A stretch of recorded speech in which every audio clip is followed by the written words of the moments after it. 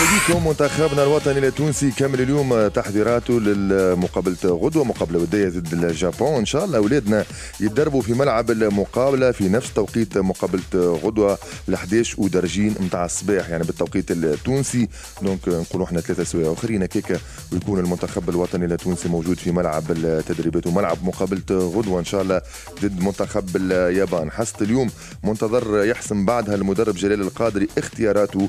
نستناو برشا تغييرات. بالمقارنة بالمقابلة الأولى والهزيمة الأولى مع كوريا الجنوبية تغييرات على مستوى الخطة ولا حتى على مستوى الأسماء. نذكر آخر حصة تدريبية للمنتخب الوطني التونسي في اليابان يوم في كوبي قبل مقابلة غدوة الودية مع المنتخب الياباني مقابلة نذكر تتعدى على القناة الوطنية الأولى بداية من 11 ودرجين نتاع الصباح.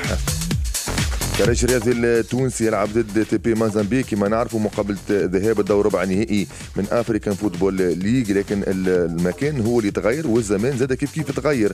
بالنسبة للمقابلة هذه كان المفروض أنه يلعب نهار السبت. الترجي مقابلته مع مازامبي في لوبومباشي لكن الاتحاد الأفريقي لكرة القدم واللجنة المنظمة للمسابقة راسلت البارح الترجي وقتلنا انه المقابلة تبدلت ولات في تنزانيا نهار الأحد 22 أكتوبر. مقابلة في دار السلام في تنزانيا كما قلنا تعطيلات بالنسبة للكونغو على مستوى الكتوسكي اللوجيستيك نحكيو على الفار زاد ما نجمش تدخل زاد كيف كيف تعطيلات على مستوى الفيزا بالنسبة لكبار الشخصيات والضيوف نتاع آه، المقابلة. هذا خلى الاتحاد الأفريقي لكرة القدم ما يستناش أكثر ويبدل المكان والزمان. كما قلنا ترجي دور ربع نهائي African Football League مقابله ذهاب تتلعب مع تي بي مازامبي في تنزانيا نهار الأحد 22 أكتوبر مقابلة الإياب تقعد في موعدها حتى توا في تونس في ملعب المرحوم حماد العقربي في رادس نهار 25 أكتوبر 2023 مقابلات ودية تلعبت البارح بالنسبة للفرق التونسية. نعرفوا ال championnat باش ترجع إن شاء الله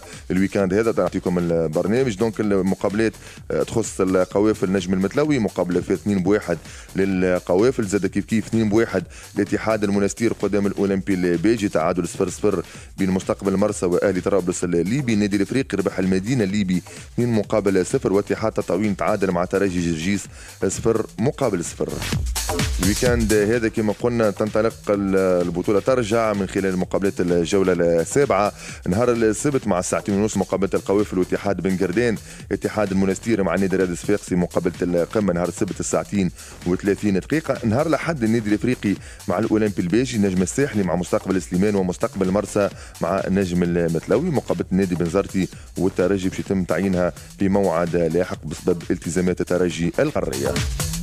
نكملوا بالكورة خارج تونس نمشيو لأوروبا نحكيو زاده على ال Euro Euro 2024 والتصفيات المقابلات نتاع الجولة الثامنة. البارح أهم الاستنتاجات اللي خرجنا آه، منها هو انه المقابلات المجموعة الأولى فيها إسبانيا واسكتلندا تعداو للأورو. البارح إسبانيا ربحت النرويج خارج الميدان واحد مقابل صفر. donc ولا عندك 15 نقطة. كيف كيف اسكتلندا يبعدوا خمسة نقاط عن النرويج بعد نهاية كل المقابلات الخاصة بالتصفيات. زاد في ال groupe دي البارح البيت جال مع كرواتيا آه، بلاد الغال ربح اثنين مقابل واحد وتركيا ربحت ليتوانيا أربعة مقابل صفر وتعديت لنهائيات الأورو. تركيا موجودة في صدارة المجموعة هذه عندها 16 نقطة.